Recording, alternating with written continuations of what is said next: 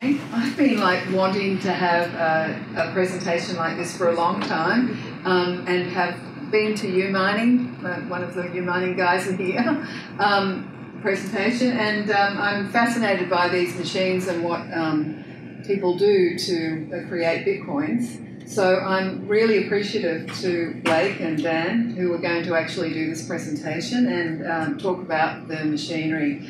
Um, first of all, though, I'd like to introduce Tobin Dommer. Do you want to say a few words, Tobin? Tobin actually sponsored this event. Um, he's also the fintech guy at Sheppard Mullin. So if you've got any uh, queries or you need a really good attorney, Tobin's the guy to go to. Um, Thanks, Bob. I don't have much tonight, so uh, looking forward to it. okay. Um, so please uh, grab him after the event if you want to speak to him. Um, so now I'm going to pass it over to Dan and Blake. And Great. Thanks everybody for being here. Uh, my name is Daniel Edwards. So how we're going to do this tonight is uh, I'm going to start out with more of an educational presentation, and then Blake's going to take over and tell you about his cool little Z9 over here and uh, why he bought it and what's what's interesting to him as a consumer. A little bit about my background. Uh, I was previously an investment banker did a lot of fintech deals uh, here in San Francisco and all across the nation.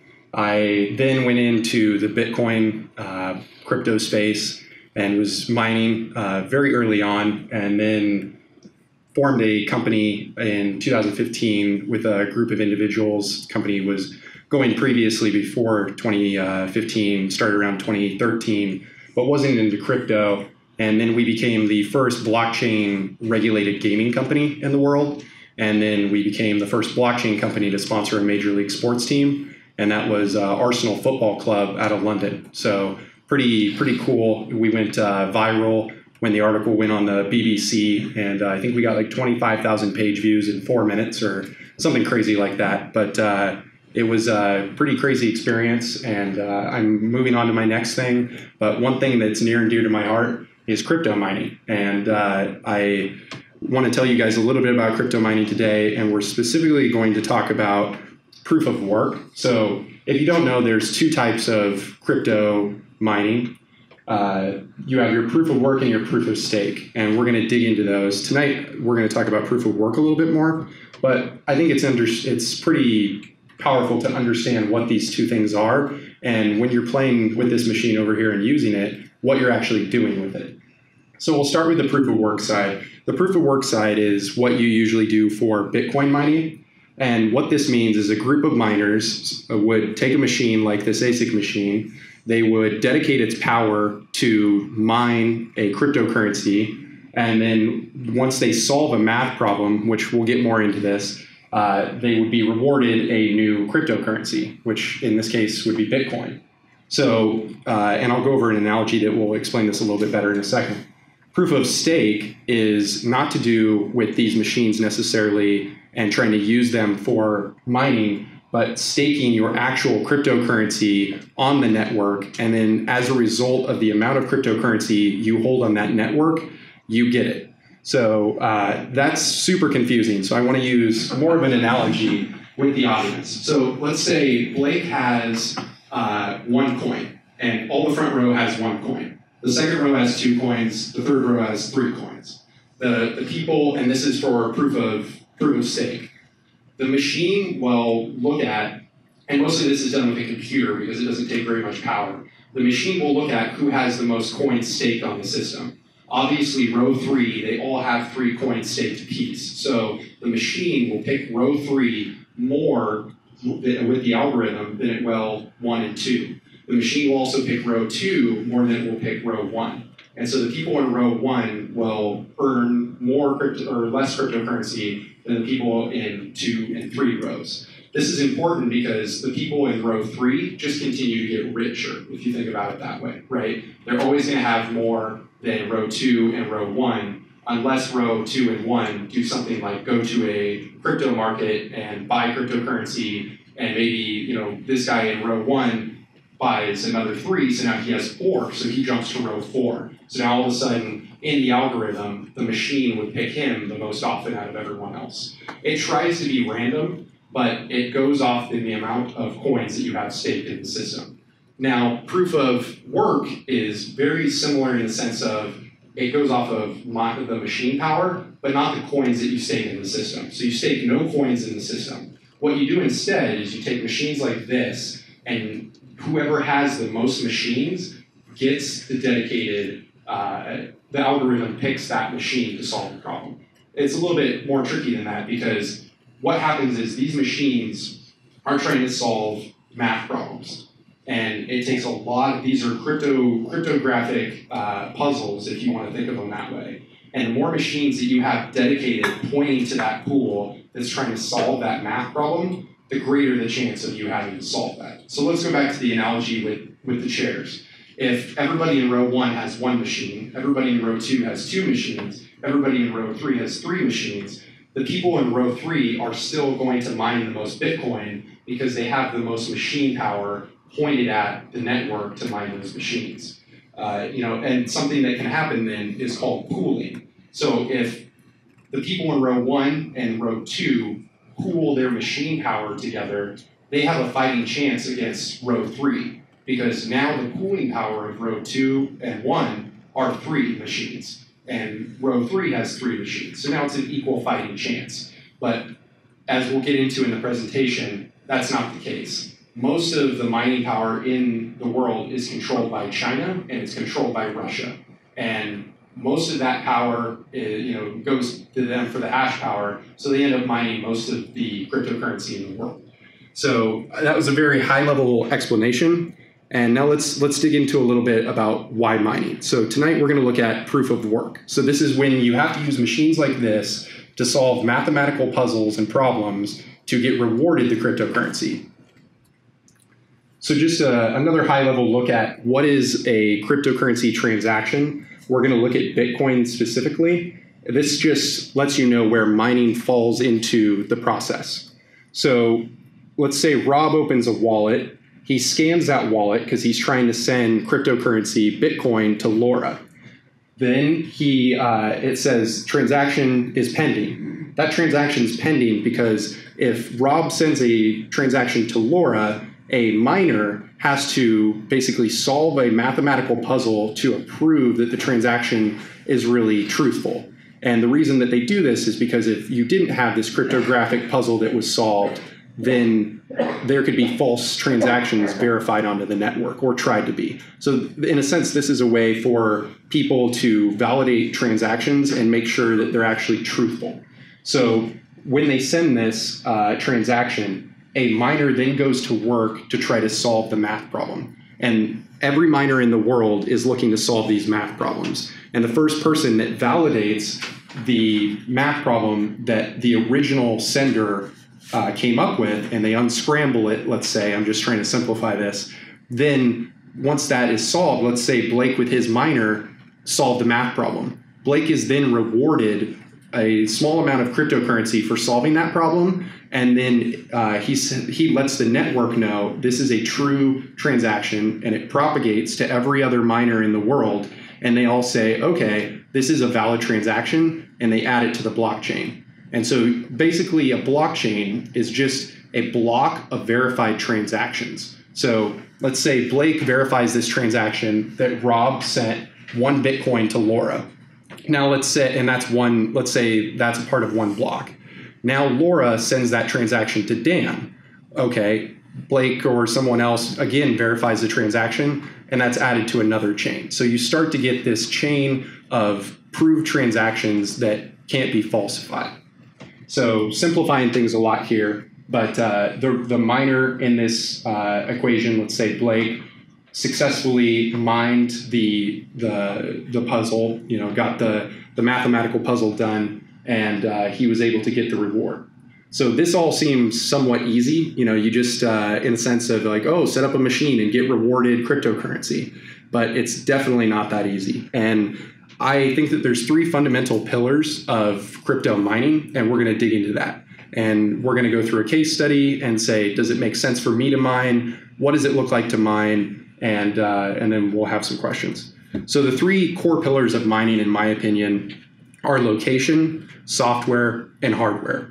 So when we talk about hardware, that's a machine like what Blake's picked up here. It's the Z9 Mini, a very good machine from Bitmain. There's many different machines out there which we'll talk about. Software, which means when we go back to our analogy of people pooling uh, their resources, that could be a software program. So they're using a software program to pool their resources and then have a fighting chance against the rest of the world. Or you can go it alone and just try to mine individually. But usually that doesn't work very well. I mean, if we had to imagine that we're, you know, playing a game here and I'm trying to pick somebody out of the audience, your chances of winning are one in whatever the audience number is. But if you're pooling, you know, just like with the lottery, you have a better chance of winning. So that's how I like to think of it, and that's how people think about it. And we'll go over a, a mining pool chart that shows that most people in the world that mine actually do pool mining, and that's because even if you get picked and the reward is smaller,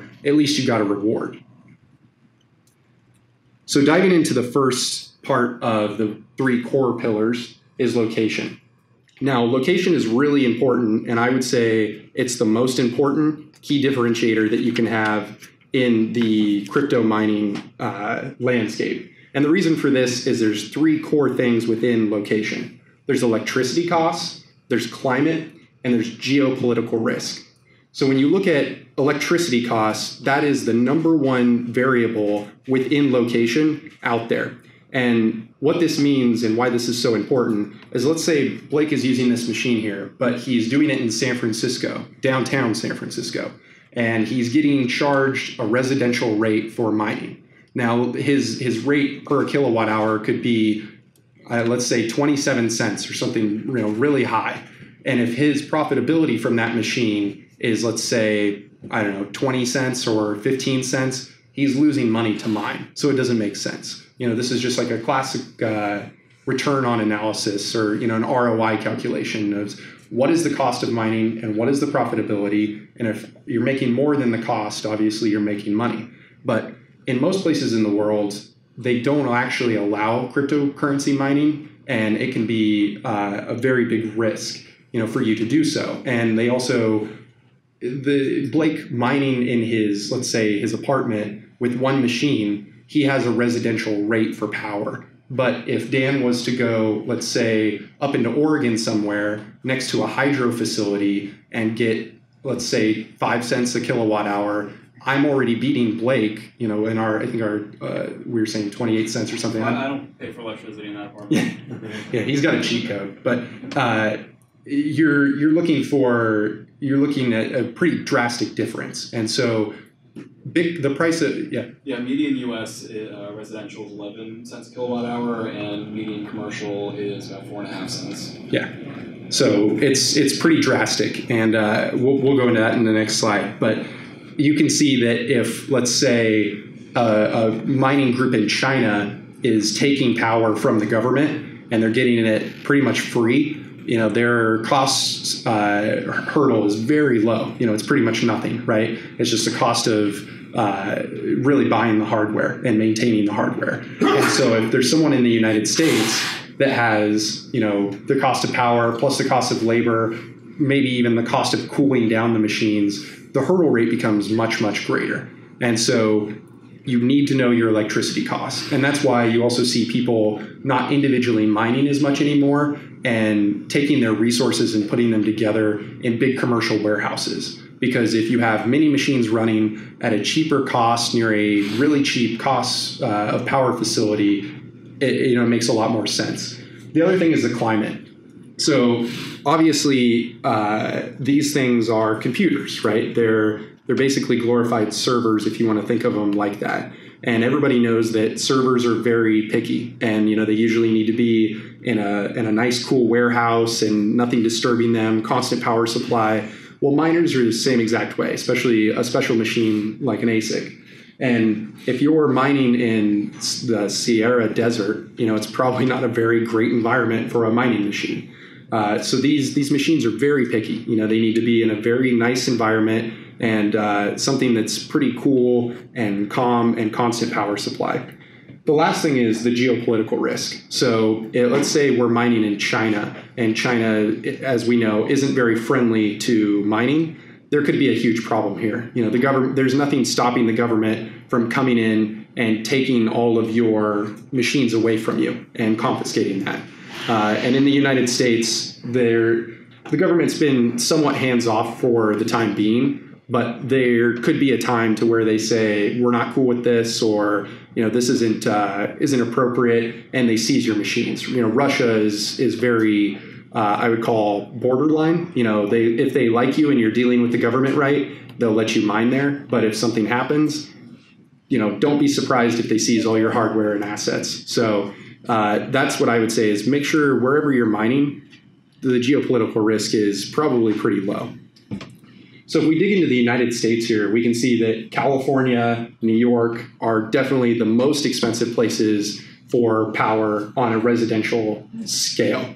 Uh, something that's pretty interesting here that we talked about just a little bit on the last side is make sure where you know you know where your competitors are and you know where you're at because if you don't know where your competitors are at, you will you'll never know your profitability for mining. So let's say if Dan is doing residential rates for for power, but his competitors are doing commercial rates, his competitors are probably going to win because they have a lower commercial rate. So I'm already starting at a disadvantage.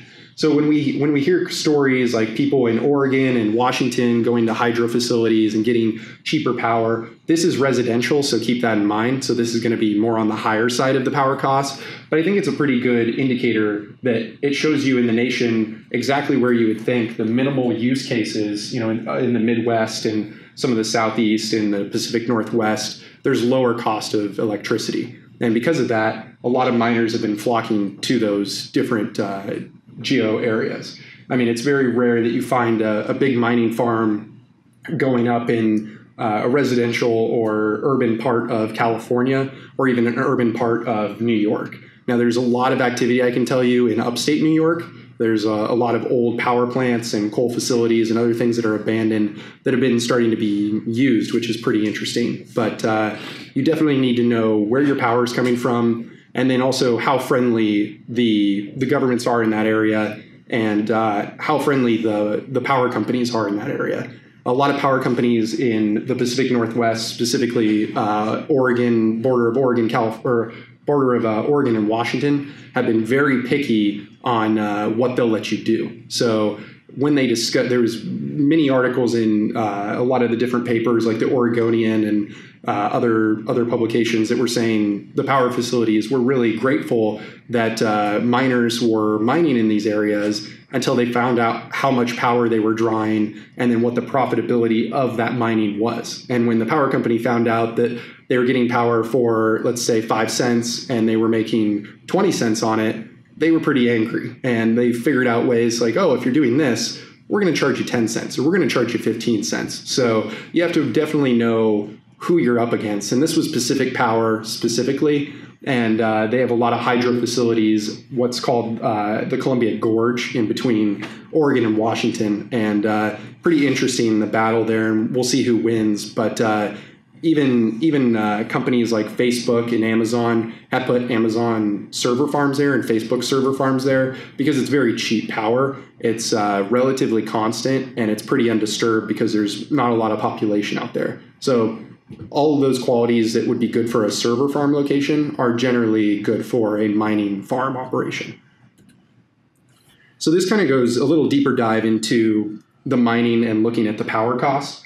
So here we can see this is the average, uh, as Blake said, it's you know 11 cents for for what you were quoting. Uh, what I have the national average is, which is obviously dragged up by California and New York, is 13 cents a kilowatt hour. Uh, the average commercial rate is about 10 cents. Uh, it can be much lower, it can be much higher.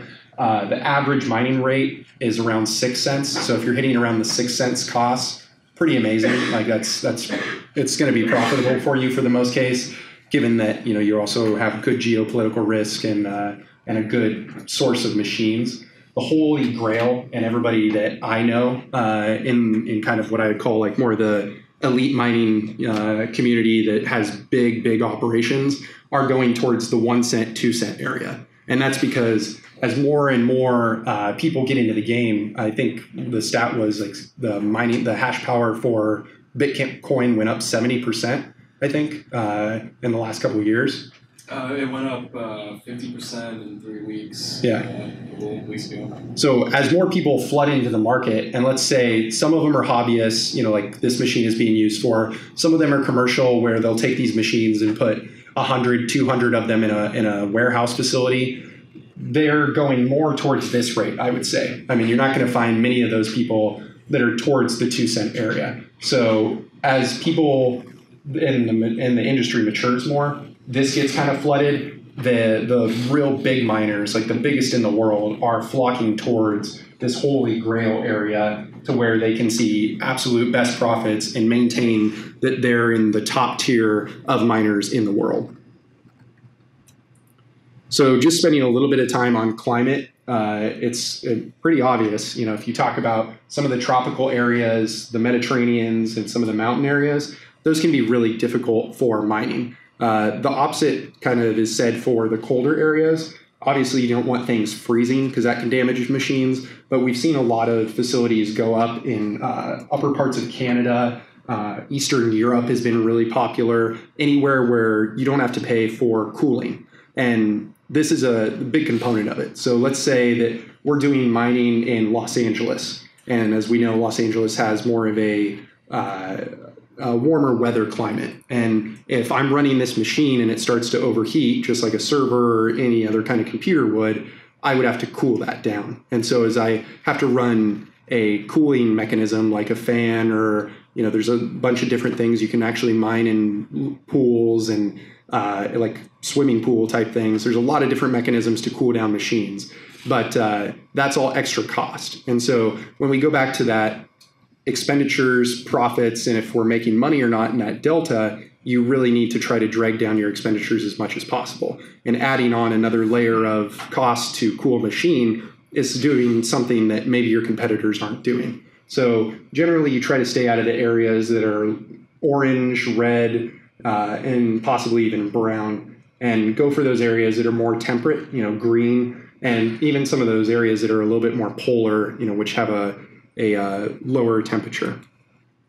Just geopolitical risk, real quick. Uh, the United States and, and some of South America, Australia, and parts of the UK and Europe, they're somewhat legal, I would say. I wouldn't call them fully legal. I would say they just haven't been set in stone. You know, there's really no law in the book saying you can or can't do this. Uh, in some areas, there are, but uh, for right now, it's kind of the wild, wild west still there are definitely countries that are hostile towards mining. Uh, parts of Africa, parts of South America. I would even put China uh, and, and Russia on the list of questionable. But as you'll see, most of the largest mining farms in the world are in Russia and are in China. But government connections and and uh, briberies and other things, you know, make sure that those things uh, stay out of the hands of local governments seizing their assets. But as an American, if you're investing in a mining farm or setting up your own mining operation in a foreign jurisdiction like China or Russia, uh, you probably want to make sure that you have somebody local on the ground who's very friendly with the government and you know your assets aren't going to get seized once you put up your mining farm and do all the hard work. So the the third the second pillar is software. Uh, mining pools are by far the most uh, I actually put in here most miners don't use custom mining software, but they do use mining software. So a pool, as we as we talked about with our analogies, allows you to get a bigger or at least some piece of the of the of the reward as time goes on.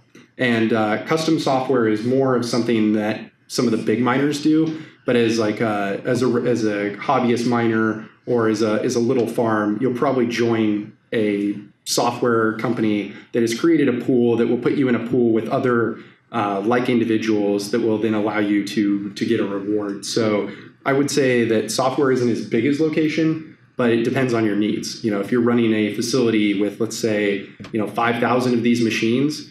maybe you need to think about a custom software solution that isn't just run of the mill, something that is a little bit more tailored for your needs. It also depends a lot on what you're trying to mine and we'll get into that a little uh, later.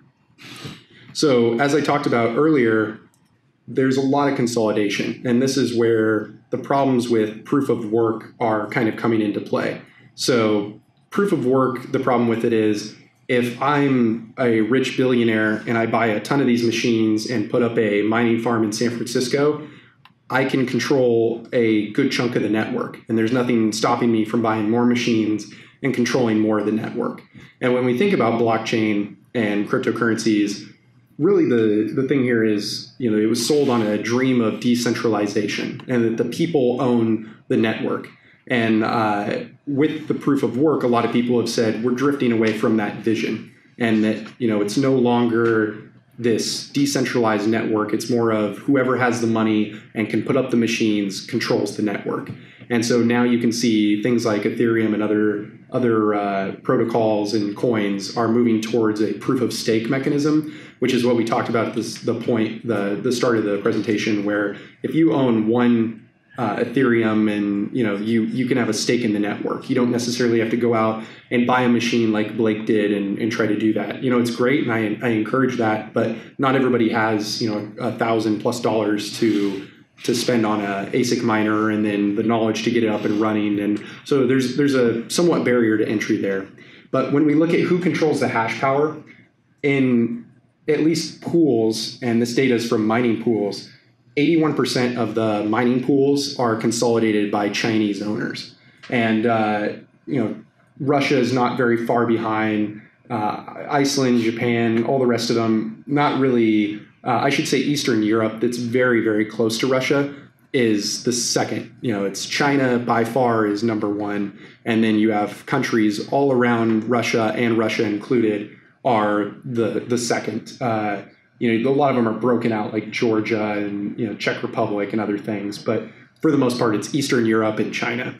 And uh, the reason that they're so heavily owning the network is because they got into it early and they started putting machines like this up in very big warehouses and uh, and just really controlling the network. And think about this: the way that my my favorite analogy for the network of of blockchain is think of it like a residential property. If you live in a subdivision and you own a majority of the homes in that subdivision, you pretty much have control of that subdivision and you dictate the market rates of those different houses by buying and selling them. But if you own one house or one piece of property in that subdivision, you, you don't have very much control. And the problem is, America hasn't really put a lot of effort or dedication into making sure that they're buying up, you know, quote unquote property of the blockchain network. And so when you look at the blockchain network as as a you know as a as a piece of land, it's owned by China, it's owned by Russia, it's owned by Eastern Europe. You know, it's not owned. It's very littly owned by America. And so if we think about blockchain technology and the the value of that going forward, we would want America to own a pretty good chunk of that, or players from America to own a pretty good chunk of that to provide you know safety and stability of the network. Because when things like this happen where Russia and China control it we're really at the mercy of those providers in Russia and China. And obviously the US has uh, intervened in a lot of different areas to where they make sure that other countries don't solely dictate something. And it's somewhat scary to me because if you think that blockchain is the future and it's another important network that could you know be vulnerable to attacks from foreign actors, then you know this is this is pretty interesting. So uh, it's uh, it's it's interesting to know. Uh, the thing that I think is is more important though is that there's really only 20 major mining pools in the world that control all this. So when we look at who is actually mining all the cryptocurrency or all the Bitcoin in the world, uh, we see that there's basically three major players that dictate the whole network. And this is really interesting because there's something called a 51% attack. And if you own 51% of the network or control 51% of the network, you can validate transactions that aren't, uh, could be uh, not true. So if 51% of this room were to get together and say, Dan did, you know, Dan sent all of his Bitcoin to us and that, that transaction happened that you know could have not happened, could have been a false uh, transaction. But if 51% of the room get together and agree on that, they could put that into a block and say, yes, that did happen. And so going back to my other slide about you know foreign actors controlling the network in such a big way, you could start to say, well, they could be very malicious on what they're doing. And so uh, it's pretty interesting that if these three mining pools were to get together, they could control the whole network and then you know start start putting transactions out that aren't true. BTC.com and AntPool do uh, mine together. Yeah. So it, yeah. So what Blake's pointing out is that these two actually mine together. And so if you think about the 51% mark, which is right here, uh, it's it's pretty interesting to to see like you know this this could definitely happen. And on I think on the next slide I I say who this this one is. I can't can't remember off the top of my head. This is not unknown anymore. This is a known uh, network, and it's from China. So these are all Chinese networks. and so you can see that the top three who own or control 51% of the hash power in this are all Chinese networks. And I'm not trying to scare you from, uh, you know, America first or, you know, uh, foreign actors are always bad because they're not. Uh, but it's just very interesting that any other, you know, technology that you would put up on a slide like this for, let's say, like, you know, bandwidth or other things, America would be on this list. And there's no American company on this list. And to clarify that, um, it's not to say that the hashing power is going straight to China. There's a geographic distribution within these pools. Um, just the way that they're set up is you're accumulating a balance uh, via your reward on their pool, and then they distribute it past a certain threshold. So there is some degree of, of centralization, uh, but there is a, a much um, a much more even geographic dis, uh, distribution this represents. Sure. I mean, and that's a good point, too. I didn't do this, I should have. But if I were to put up a chart of banking transactions in the world and what transactions are going through what different payment gateways or payment networks, I assume it would look much, much more diversified than this graph. So it's pretty interesting that blockchain and cryptocurrency are preaching of this decentralization but the data shows that you know it's it's not necessarily owned by different people. No, most of that graph would be UnionPay, Chinese company. They process most of the world's credit card transactions. Hmm. Okay, I mean, yeah, I mean, you can go back and forth on on this, but uh, this is it, it's pretty interesting in my opinion that you know a decentralized network is you know pretty much owned fifty one percent by by three people. I just have a quick question. Um, so is Hong Kong part of this? Um, are they considered Chinese or are Uh, coming out of Hong Kong too? For the yeah, I think that in I'm not 100 percent sure on this data, but uh, I, I think that China is encompassing Hong Kong in this. Yeah, but most of it is actually coming from mainland China. I was. So going into hardware a little bit, and this is where we get to show off the ASIC miner a little bit.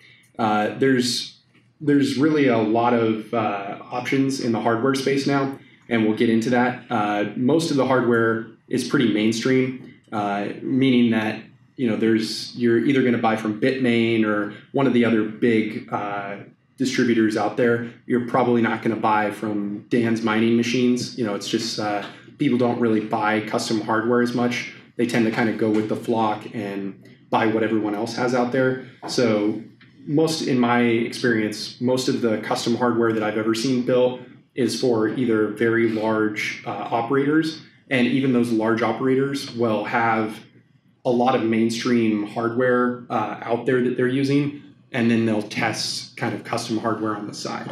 Uh, and what do I mean by the different types of hardware that are out there and available?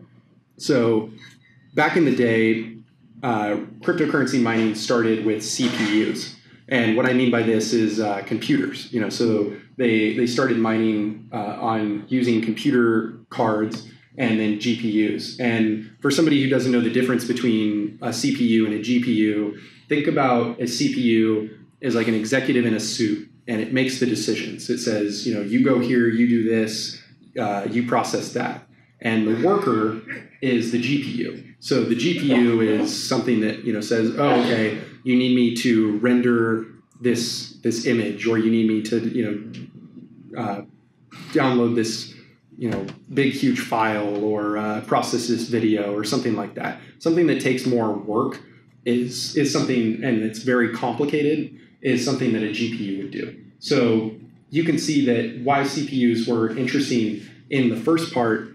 You know, there if you look at just the clocking power that a CPU has versus GPU, I mean, they can do many, many, many times uh, uh, more than a, uh, a, a, a GPU can do many, many more times than a CPU can. I mean, the difference when you look at the clocking, there's over an 800 times difference in the amount of power that a GPU machine can do over a CPU. So uh, mining quickly moved from doing CPU mining to GPU mining. And GPU mining can be done uh, basically when you buy, let's say, when you buy like a classic laptop or a, a, a PC, it will definitely have a CPU chip in there. And sometimes it will have, but not always, have a GPU chip. Uh, but most of the time, what happens is people will buy GPU chips and put those in their computers to allow for better rendering of videos or you know play video games on them is is a, a lot of the early things. And so when when Bitcoin mining started taking off, the first adopters of this were gamers. And the reason that gamers were really into it is because they had a lot of these GPU cards and they were able to mine a lot more and profitably than the CPU miners. And once this kind of was figured out, they quick a lot of the, or I would say pretty much all of the of the crypto miners moved to GPU mining. But there's been an evolution since then. And now the gamers hate us. Yeah. So uh, uh, something to to kind of note, and that's where uh, Blake mentioned now the gamers hate us. So that's with evolution 2.0. So the next part of mining was GPU versus ASIC mining. So it's important to note that just like we talked about, GPU is a worker chip. You know, it's, it's out there to do many things, and it can do many things. It's very versatile, and that's the benefit of a GPU chip. An ASIC, which is just like uh, what Blake has here on the table, is a very dedicated uh, piece of hardware that has a sole purpose. And its sole purpose is, you know, has this algorithm on it. It goes after this one task and it does that task. And so if you're trying to resell an ASIC, you're only going to be able to sell it to another miner. But with the GPU, as we mentioned before, they're really good at rendering video and other high uh, output functions. And so you can actually take a GPU after you're done mining with it and sell it to a gamer. And so, as Blake said, what happened in the market is all the gamers got really mad because the miners started buying these GPU chips, and the price of a GPU chip went through the roof. And so, all the gamers were like, hey, where's all of our chips? And the miners said, well, you know, we'll sell them to you secondhand, but the price is much higher. Well, beyond that, you have uh, suppliers that are you know directly distributing to large buyers who are going to be the miners. So there's not even the supply for gamers to get top cards. Yeah. So what you started seeing is you would go to your local Best Buy or Fry's or something, and the GPU chips would just be sold out.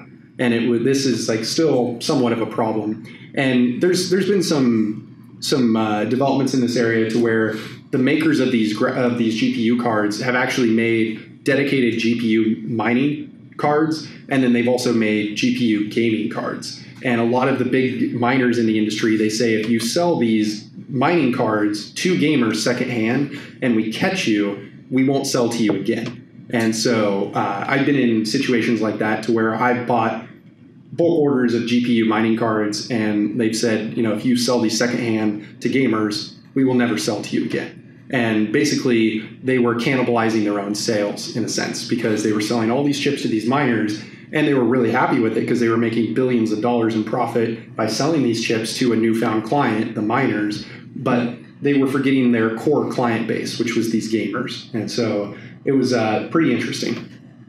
So what's the ratio then of performance per watt or coins per watt? uh, so I don't, I don't I don't have that data on here but the So the the ASIC Well, it's it's much much more efficient. So I don't have the data on there, but I mean, I it, the thing is, you would never use a GPU miner if you were going after a certain coin, right? So I'll, get in that in the presentation. There's certain coins that you can only mine with a ASIC machine, and there's only certain coins that you can mine with a GPU machine. And if you're trying to go after certain algorithms to mine certain coins, and you're doing it with a GPU machine, maybe you should be doing it with an ASIC machine instead because it's much more efficient. So the thing is, the reason why a lot of those miners went to GPU machines, which hopefully this can answer your question, is because ASIC mining is uh, with these hardware devices is much more efficient from a power standpoint.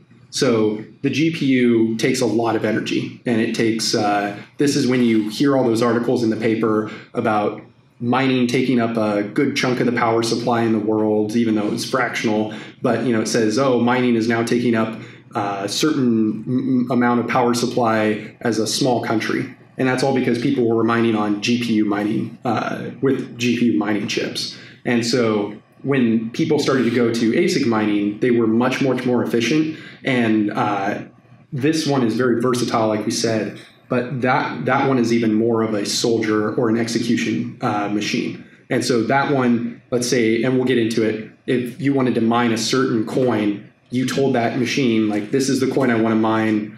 Go for it." It would do that, as opposed to a GPU mining machine, which is much more versatile and you can mine many different things with it. And it also has a higher resale value, but it's not as efficient uh, as the ASIC machine. yeah, ASIC stands for Application Specific Integrated Circuit. So it is specifically designed for running one operation, and that is it. Yeah. So it's uh, it's kind of an interesting evolution. You know, you went from a CPU, which is more of an executive and it doesn't really like to work, and then you went to a GPU, which is more of a worker chip, but it's definitely like uh, it's it's flexible, but it's not. It has only maybe too much versatile, uh, you know, uh, capabilities. And then you went to an ASIC mining chip, which was dedicated specific for that use. So uh, as the evolution of mining has kind of gone on, ASICs have kind of found the home as like the most efficient way to do mining from a lower cost of electricity and uh, and something that was kind of more straight to the point.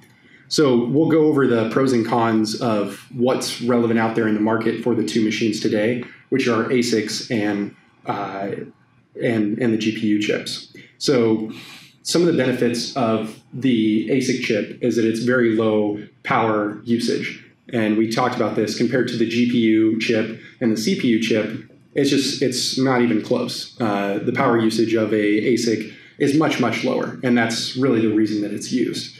Uh, also, the other thing is that these machines have very high hash rates for specific coins. So when you talk about things that an ASIC can mine, let's pick on Litecoin it's very uh, much more profitable to mine with an ASIC machine going after Litecoin than it would be something else because of just the way that this machine and this hardware is built. It's for that intended use. Uh, also, the physical size of it. Uh, you, you, know, you don't really need a, a, a, computer with a big GPU chip in it or multiple GPU chips in it, and uh, it, they're pretty pretty efficient. You know, you, usually what you do is you take these machines put them on racks and stack them in warehouses, and you know they're they're pretty small as you can see, and uh, they can be pretty efficient. And the alternative is is mining with the GPU. You know, you have a bunch of computers lined up and trying to maintain and take care of a lot of computers. And then, uh, as we mentioned, all these traits give it a higher profitability margin than the GPU chip uh, for for some of the stuff that it mines. So uh, because of its profitability advantages on power, size, and the algorithms that allow it to mine special certain coins, uh, it has a lot of uh, margin power in there that the GPU just doesn't have. But it also has a lot of cons. So it's uh, it's it's very high uh, efficiency and it's built for one specific purpose, and that makes it kind of a one-trick pony in a sense. So as we talked about with the GPU cards, you can kind of sell them and, and get rid of them somewhere else. The only other person that's going to buy another ASIC miner is probably another ASIC miner. Uh, they're application specific, so they're only built for one thing. So you know this has gotten a little better actually with the new advances in hardware and software. But back in the old days, if an ASIC was built to mine Litecoin, it was only going to mine Litecoin. Uh, also, re- low resale value. We talked about this because of the versatile, uh, the lack of the versatile capabilities of an ASIC machine. It tends to have a lower resale value. Uh, they can also become obsolete overnight. So, what do I mean by that? if a coin chooses to change its algorithm, and this machine is built for that specific case, it can it can be you know kind of rendered obsolete. Now, ASIC and, and other hardware manufacturers have been doing a lot to try to combat this, and they've been trying to you know figure out ways to where let's say Litecoin changed its algorithm uh, tomorrow, that a machine that was mining Litecoin wouldn't just be absolutely worthless because in a lot of today's world, if a coin changed its algorithm overnight, and let's say you have a machine that's like a 256 SHA uh, machine, and they, they change off of that algorithm, you could have to buy a completely different machine to mine that coin now. And that's, uh, you know, that can be very annoying. Let's say you, you know, you drop a couple thousand dollars on one machine or a couple hundred thousand dollars on multiple machines and they're rendered obsolete, you know, you're, you're kind of out of luck. And uh, that goes to who controls that? Well, it's the manufacturer. You know, the manufacturer controls everything in the market of these machines and dictates really what they can do and what they cannot do. And if uh, they have a change of heart overnight, you know, it's the consumers are kind of uh, unable to adapt. And then, as we talked about with GPU chips, you can somewhere do some somewhat do software upgrades on them and other things, but uh, for the most part, the ASIC machines haven't really been like that, and we'll get into that a little bit more. But the ASIC uh, manufacturers really like you to hold a machine for a certain amount of time and then have to buy the new machine. Uh, think of it kind of like an Apple iPhone. You know, they want you to have that iPhone for you know, a certain amount of time, and then the latest and greatest comes out, and all of a sudden it's more power efficient and has more capabilities, and everyone has to have it. And uh, that that's exactly the same in this hardware as well. So if we look at the pros of the GPU miner here, it's a general purpose, and as we talked about, it's it's very versatile. It can do a lot of things. Uh, you know, you can pretty much mine a lot of the different coins out there, and if they were to change their algorithm or change other things, your GPU is capable of adapting as well. Uh, the nice thing is uh, because it's so versatile, it can kind of bend and break with the with the different changes in the algorithms of these different coins. Uh, it's also pretty easily sourced. Um, I, Blake can tell you where he got his miner, but it's it's not as easy as going to Target into the electronics section and buying an ASIC miner. But it is that for a GPU miner. You can go right now after this presentation and buy a GPU chip at any of the top retail stores, and so it's it's something that's definitely out there and available. Uh, the hardware is pretty standard. You know, you're not going to find something that's uh, super custom out there. Uh, GPU chips have been around forever. Uh, has a high resale value, like we said. You can sell to gamers, you can sell to other people, and uh, it's upgradable. You know, you um, you can get these chips and you can upgrade them, and it's not kind of just uh, have to buy another chip because the manufacturers come out and said they're obsolete. Now there is something to where maybe your GPU chip isn't as efficient as uh, a new GPU chip that they come out with, but it's not a big as difference as the hardware for these ASICs. Now the cons, the GPUs draw a lot of power. Uh, you know, they're definitely not as effective as an ASIC, and uh, overall, just compared to the ASIC, they're they're not as efficient. Um, but that comes with the trade-off of uh, them being versatile. They definitely are very small. The GPU chip is much smaller than this machine, but it needs to go into a computer system to work, and that's also kind of the trade-off. Uh, and then the, the, other major thing that a lot of people don't like about the GPUs is that they can uh, only be used for certain coins and certain cryptocurrency out there.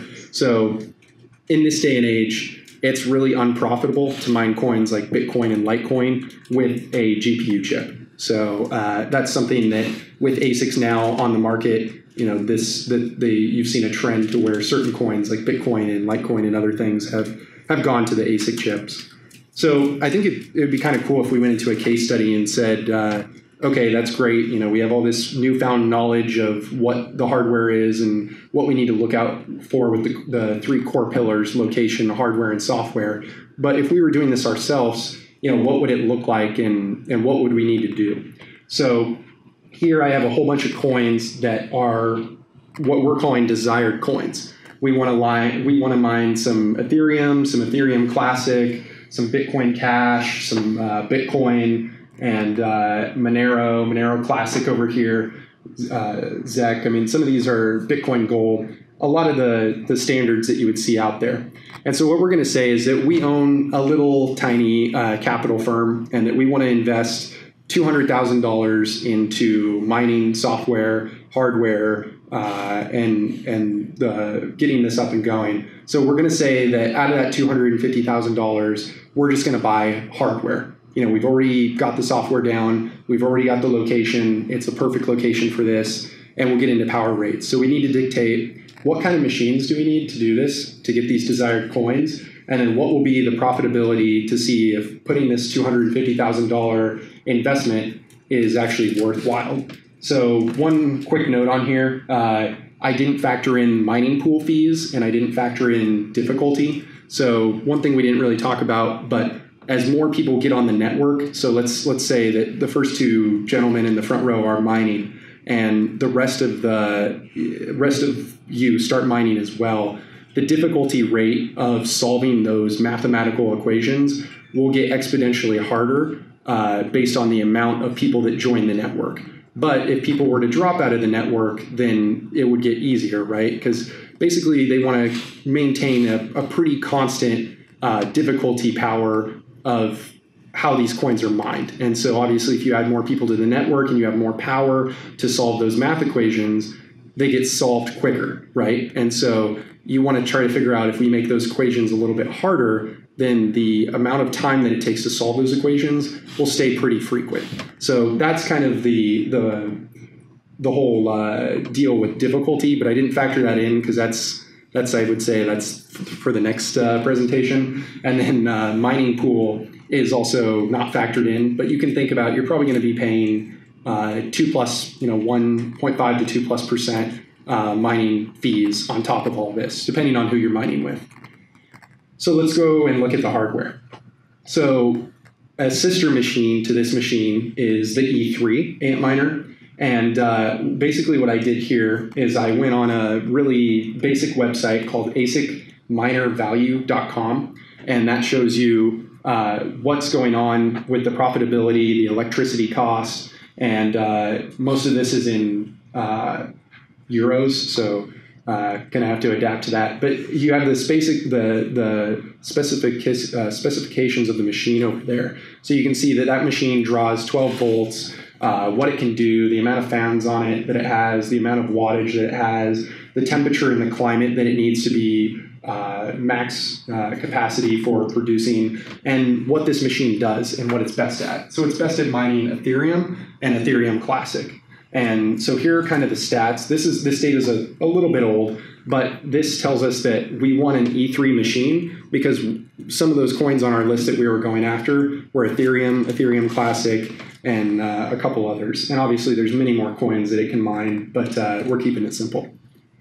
So what we want to look at is what is the cost of the machine. So up here, you can see that the cost of the machine is about 1,876 uh, euros. So the machine is pretty expensive for just one machine. Uh, then it's got a shipping cost of 150, and then it's got specifications in there for the electricity, the hash power it has, the earning per day, which is 7.64 uh, euros, the cost of electricity, which we're assuming in this scenario is uh, 0.08 euros. And so our, you know, it's pretty decent. You know, it's a little higher than the six that we saw on our chart on the first of the presentation, but it's not bad. And so this right here is called a sensitivity analysis table. And so what I've done is I've said, okay, here's our delta from the current price today, and if we go up, uh, if we go up 50%, these are the prices and the value of the coin, and if we go down 50%, you know, those are our scenarios. And then scaling out this way, I said this is the price for one machine, and this is the price for 100 machines, and our target is 35 machines. And so you can see that in our, uh, what I'm calling our base case scenario, which is the price stays the same for the cryptocurrency, we're making around 6.4 uh, thousand euros. In the worst case scenario, we're still making 5.1 thousand euros. And in the base case or in the best case scenario, we're making 7.8 thousand euros. So pretty cool that this tells us that, yeah, it's a newer machine. It does does pretty much everything we want it to do, and that it's mining Ethereum and Ethereum Classic. So that's pretty good. Uh, the next machine is Z9 Mini, which, uh, hey, look, it's right there on the table. it's a new machine, and you can see that it came out in June, so it's, it's, it's very new. And it gets us uh, Bitcoin Gold and a, and a bunch of others, and it's uh, quite profitable. It's one of the most profitable machines that, that uh, Bitmain actually makes. So then skipping on, we looked at its profitability and what it can do. Uh, again, we, we look at this. I'm a little crunched on time, so I'm going to speed up here a little bit.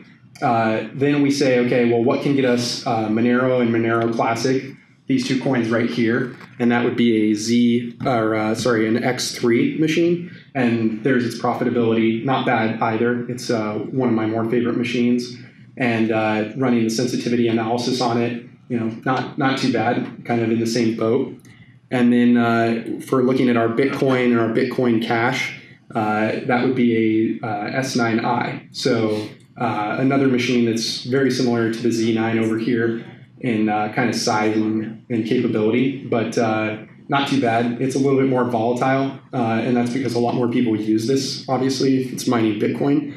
So we look at the sensitivity analysis for this, you know, same, I'll have this presentation posted so you can look at it somewhere else. So we start looking at the best case scenario here, and we say that if we're running this machine at the forecasted profitabilities that we showed before, what are we looking at? So I have the total payments here that we're earning, the, the principal payments on the amount that we invested, the interest payments on that, if we assume that we took a loan out to get that, and then the total interest drawing down on the, the principal and the accumulated payback. We can see that if we run this machine for 10 months, mining those different things, uh, we reach profitability. So the delta between month 10 and month 18 is uh, is our profit. And this is pretty interesting. Most people will tell you, oh, you can run a machine for 24 months. But the thing with an ASIC is that they're going to come out with another ASIC in that time. And so, just like with the iPhone, it's going to be obsolete before too long. And so, I really would say probably don't run a machine longer than 18 months. So, my, that's why I put this in red. That's like your drop dead month. Obviously, if you wanted, you could continue running this machine pretty much until it breaks or until it becomes unprofitable. But uh, kind of an interesting thing here. So it shows us that if we invested two hundred fifty thousand uh, dollars in all this, then you know we're going to be making a profit uh, a month of fifty two thousand euros, and uh, you know uh, we become profitable in month ten. So pretty interesting. The worst case scenario shows that we still end up becoming profitable. And I guess just to show this, the total payback on this one for the best case was uh, 469,000 euros. So we made we made quite a bit of money on this. Uh, it was pretty good. It was around a 90% return on investment. On the worst case scenario, we still make 25% of our money back, which is kind of interesting. And then, uh, but it takes us 16 months to do that. So the amount of profitability is only two months, not super great. And then uh, on the on the base case, which is the price doesn't change, takes us till month 13, and uh, we only have a couple months of profitability, and it it still made a lot of money. 56 percent of the money uh, return on investment was made. So you know, kind of what do we think of that? These are a profitability table of the different analysis, and you know, the guidance is here that if you're getting electricity in the range of around eight cents, it's probably profitable in this in this sense. So uh, you know, that's that's kind of the scenario. I know I went pretty quick on all this because we're running out of time, but I want to have uh, Blake up here now and just to talk about uh, you know why he bought this machine and you know what he sees as like an owner of this machine. Hi, I'm Blake Richman. I'm a uh, partner and portfolio manager at uh, NovaBlock Capital. We're a distributed ledger technology investment fund. Um, in my uh, spare time, I like to host nodes, I like to help with uh, decentralized file storage, and I like to mine cryptocurrencies. Um, I began with GPU mining, which was uh, quite profitable through 2017. Um, I did that on an ongoing basis with Ethereum and Ethereum Classic, but then also on a speculative basis uh, with, with, several different coins. Um, and this is typically where you're looking at Bitcoin Talk Forum announcements of the newest projects that need to attract a community. They need to attract validators for their network. They need to ensure the security of their network through building this mining community. So they offer very attractive mining rewards very early. Uh, and these tend to be in the 10 to 100x of a stable mining reward range. Um, that type of mining, uh, you basically mine it and you hold it. Once the once the price appreciates, the mining reward drops uh, project gets added to an exchange, then uh, you know it, it's significantly more profitable. Um, mining on an ongoing basis, uh, you basically are solving for electricity costs and market risk. Uh, so if you know how to trade, hang on to it. If you don't, you're probably selling it the second you get it. Um, mining itself is sort of a probability weighted, uh, almost game theory game um, where you're looking at what am I paying for electricity? What kind of hash rate? Um, how many operations per second can this machine do? Um, what's that general profitability? But then also, what's the growth rate across the board on this network? So when this came out uh, about two months ago, um, I think first batch actually shipped in August, um, but they've been running before that, and you see the hash rate for these networks grow, you know, immediately and that drops profitability for everybody. So what you want to do is try to get the most efficient machines that you can early in the life cycle of that machine. Uh, so that, that's what really drove me to um, to buy this machine. Um, beyond that, it's the specific algorithm that it can uh, that it can hash, and that's Equihash. Equihash is an algorithm that's used by Zcash, it's used by Zencash, it's used by Bitcoin Private, Bitcoin Gold, um, and, and, a number of other currencies, uh, largely focused on uh, privacy currencies. Um, these currencies, you know, I, I think they have a, uh, a pretty decent growth story. I think the enterprise application of uh, using cryptocurrency um, to pay your vendors, you know, private way so your competitors don't see it on the blockchain is a little bit more attractive value proposition than Bitcoin. Um, so once I ROI this and you know sell uh, and actually make it make the profit back, um, you know those are going to be more speculative uh, mining ventures. Um, happy to uh, I guess do a little demonstration. Um, this is the uh, Antminer Z9 Mini. Um, as I said, it's for mining Equihash. Um, it will do about 11, the, the label says it does 10,000 uh, hash per second, um, which means it's basically brute forcing this encryption algorithm such that the solution that it gets, or the answer that it's uh, proposing for the network, is sufficiently low um, and the way that they do that is by basically specifying the number of zeros uh, that you need to have solved the, the algorithm. Um, and the difficulty adjustment that Dan was talking about is basically how many zeros do you need uh, in, front of that number. Um, this particular unit will have uh, three PCBs in here. Uh, you can see these, uh, these are old chips that are going to be individually powered. Uh, each one has its own heatsink. Um, and then, of course, you have a 120 millimeter fan, uh, very loud and uh, powerful fan uh, to cool the unit. Um, this here is the uh, power supply unit, the PSU. These uh, six pins will plug into the board here as well as each PCB within the unit. You basically turn it on, you plug in the uh, plug in the Ethernet cord, and you have to do an IP search for it. You have to figure out what what its IP address is. You find that you're able to just type that into your browser, and it brings up this interface that allows you to enter the address that you're basically pointing your miner at, the wallet, or if you're mining within certain pools, the account name that you have with them, and then a password, uh, which isn't actually too necessary with most uh, most pools. Um, and that interface actually allows you to monitor the temperature, allows you to reboot it, allows you to upgrade firmware, it allows you to monitor hash rate, uh, real-time hash rate, average hash rate over uh, hours, days, it's variable, um, and then also the uh, pools that you do mine for. um, might have similar interfaces. What's that? We need to light it up. Okay. Yeah. Um, so, just any questions?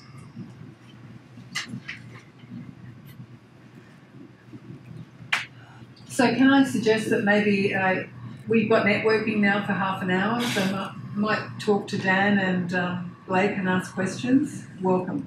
Okay. Thanks. Thanks. Thank you.